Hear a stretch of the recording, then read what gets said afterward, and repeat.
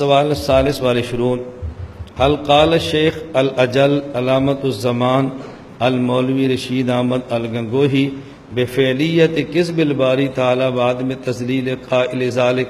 हम हाजा मिन अफ्तरात लई तेईसवां सवाल ये है कि हज़रत मौलाना रशीद अहमद गगोई रहमत ने क्या ये बात लिखी है कि अलयासबिल्ला अल्लाह ताला झूठ बोलते हैं या ये बात नहीं लिखी? अगर लिखी है तो फिर वजाहत करें। और अगर नहीं लिखी तो फिर वजाहत करें कि जो इसका ये अकीदा हो, अल्लाह ताला झूठ बोलते हैं तो क्या वो काफिर है, मुसलमान है, उसका हुक्म क्या है? वजाहत करें। अलजवाब अल्लाजी नसब शेख अजल अलअहद अलअबजल अलामत ज़मान ही फरीद व असर ही व अवान ही मौलाना रशीद अहमद गगोही, मिन अन्नहु कान काइलम बफेलियतल्किज़्ब मिन अलबारी ताला शानहु वादम तजलील ही मन तफवह बिजालिक फ़मकजूबन अली रहमल्ला ताला वहो मिन अकाजी बिल्लती इफ्तराहा दज्जालकज़ाबून हज़रत फरमाते हैं कि देखें, हज़रत गंगोही रहमत पे ये इन दज्जाल और कज़ाब लोगों ने इफ्तरा बांधा है कि मौलाना रशीद अहमद गगोई रहमत फरमाते हैं कि अल्लाह ताला झूठ बोलते हैं। जिसका ये अकीदा हो कि अल्लाह ताला झूठ बोलते हैं हम उसको मुसलमान नहीं समझते, बल्कि हम उसको काफिर समझते हैं। हज़रत मौलाना गगोई रहमत का इस उनवान पे तफसीला फतवा मौजूद है, जिस पे उलमा मक्का मुकरमा की मोहर और दस्खत मौजूद हैं। वो फतवा क्या है। बिसमीम नहमद वसली रसूल करीम। मा कौलकुम दाम फजलकुम फ़ी अल्लाह ताला। हल यतसिफ बिसिफ़तिल्किज़्ब अमला वमन या तकद यकज़िब कैफ़ हुक्म कैफ़ हुक्म अफ्तूना माजूरीन ये किसी ने सवाल किया था कि देखो कोई शख्स अगर ये कहे कि अल्लाह ताला झूठ बोलते हैं यानी सिफत किस्म के साथ मुतसिफ होते हैं क्या ये बात ठीक है या गलत और अगर किसी का ये अकीदा हो कि अल्लाह ताला मुतसिफ बसिफ़ किस्ब हैं यानी अल्लाह झूठ बोलते हैं तो ये बताओ इसका हुक्म क्या है तुम हमें फतवा दो ताकि तुम्हें अजर मिले। अलजवाब हज गंगोई रहमत फरमाते हैं अन अल्लाह ताला मुनज़मिन तस्व बसिफ़त किस्ब वलसत कलाम ही शाइबतुल्किस्ब अबदा। अल्लाह रब्ज़त न झूठ बोलते हैं और ना ही अल्लाह ताला के कलाम में झूठ का हल्का सा शुबा भी है। अल्लाह ताला के कलाम में झूठ का शुबा भी नहीं।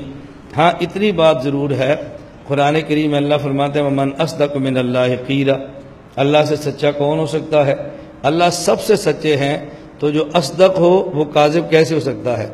हाँ ये बात ज़रूर है कि अल्लाह ताला ने कुरान करीम में फ़िरौन के बारे में फ़िरौन के बारे में, या कारून के बारे में, हामान के बारे में नाम लेकर फरमाया कि जहन्नमी हैं और हमेशा जहन्नम के अंदर रहेंगे।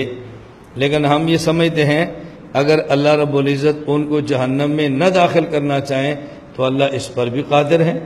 अल्लाह रब्ज़त ने बता दिया है कि इन्हें जहन्नम में जाना है, लेकिन अल्लाह उनको जहन्नम में दाखिल करने के पाबंद नहीं है। अल्लाह चाहे तो उनके अकीदे की वजह से जहन्नम में भेज दें, और अल्लाह चाहे तो अपनी कुदरत की वजह से उनको जन्नत में भेज दे। हम ये नहीं कहते अल्लाह ताला के कलाम में झूठ है या झूठ का शुबा है, लेकिन अल्लाह ताला अपनी खबर के खिलाफ करने पर कादिर हैं, इख्तियार के साथ इस्तरार के साथ नहीं। यानी अल्लाह जो फ़िरौन, हामान और कारून को जहन्नम में भेजेंगे तो अल्लाह मुस्तर नहीं है कि चूँकि खबर दे दी है, लिहाजा जहन्नम भेजने पर मजबूर हैं। मजबूर नहीं हैं, अल्लाह मुख्तार हैं। अपने इख्तियार के साथ जहन्नम में भेजेंगे इस तरारत और मजबूर होकर जहन्नम में दाखिल नहीं करेंगे। ये बिल्कुल ऐसी है, जैसे कुरान करीम में है वलोशना लातीना कुल्ला नफसिन हुदा अगर हम चाहें तो हर इंसान को हिदायत दे दें। वलाकिन हक़ल कौल मिन्नी लमल अन्न जहन्नम मिनल जन्नत वन्नासी अजमाइन। लेकिन मेरा फैसला है कि हमने जहन्नम को भी आदमी और जन्नात से भरना है। सारे आदमी जन्नत के अंदर नहीं जाने, बहुत सारे आदमी जहन्नम के अंदर भी जाने हैं। तो जिस तरह यहाँ अल्लाह खुद फरमा रहे हैं मैं चाहूँ तो सबको हिदायत देकर जन्नत में भेज दूँ, लेकिन सब जन्नत में नहीं जाने को जहन्नम भी मैंने भेजने हैं। अब इसका माना ये नहीं है कि अल्लाह जहन्नम में भेजने के पाबंद हैं। क्यों? खुद फरमा रहे हैं लवशना आतीना कुल्ला नफसिन हुदा। हम चाहें तो सबको हिदायत दें। हिदायत देने का माना कि चाहें तो सबको जन्नत में भेज दें। तो जब अल्लाह खुद फरमा रहे हैं, हम चाहें तो सबको हिदायत देकर जन्नत में भेज दें। तो सब के अंदर तो कारून फिरौन, हमान सारे मौजूद है। अबू जाल अबू लाब सारे मौजूद है। हम चाहें तो इनको भी हिदायत दें और जन्नत में भेज दें। लेकिन हमारा फैसला है कि सारे बंदे जन्नत में नहीं जाने। हज़रत फरमाते हैं, अल्लाह के कलाम में किजब और झूठ का शायबा भी नहीं और इसमें शुबा करना भी कुफ्र है। लेकिन अल्लाह रब्ज़त जिसको जहन्नम में भेजने के बारे में फरमा दें, उसको जहन्नम भेजने के पाबंद नहीं है। चाहे तो जहन्नम में भेजें, खबर दी है, और चाहे तो जन्नत में भेज दे, चूँकि इसके ऊपर कादिर हैं। मसला सिर्फ़ इतना है।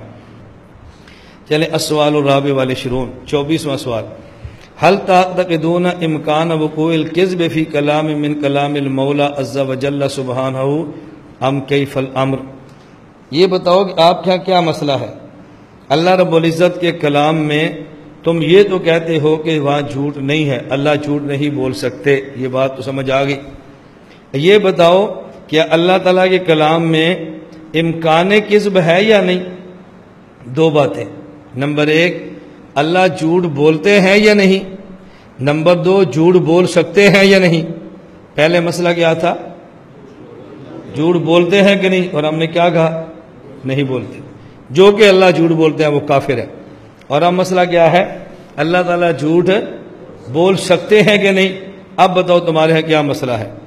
हज़रत फरमाते हैं नहर व मशाखना रहमल्ला नुज इन वन तयन बन्न कुल्ला कलाम सदर अनिल बारी अज्जा वजल्ला और सयस्तर अनफ व मकतु सिद के मजजूम बेमुताबकत वाक़ वले सफ़ी कलाम मिन कलाम ताला शाइबत किसबिन व मजन्नत खिलाफ असलम बिला शुभतिन व मन तकद खिलाफ ज़ालिक औतव बिलकिसब फ़ी शे मिन खिलाफ काफिर मुलहदन सिंदीकुन ले सलह शाइबत मिन ईमान हम ये कहते हैं कि अल्लाह ताला ना झूठ बोलते हैं और ना ही अल्लाह ताला झूठ बोल सकते हैं ना ही अल्लाह ताला कलाम में झूठ है और ना ही कला झूठ का शुबा है ना ही अल्लाह ताला कलाम में झूठ है ना ही झूठ का इम्कान है और जो यक शख्स कहे कि अल्लाह ताला झूठ बोलते तो नहीं, लेकिन शायद कभी बोल लें, वो काफिर है। जिस तरह अल्लाह ताला को झूठा कहने वाला काफिर है, हमारा नज़रिया, हमारा ईदा यही है। ला इलाहा